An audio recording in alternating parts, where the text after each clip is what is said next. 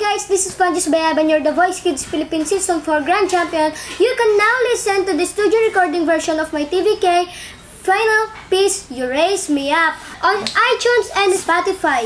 Download the app now and enjoy streaming. Sana po ay magustuhan niyo po and please don't forget to use hashtag Vanjos You Raise Me Up when posting online.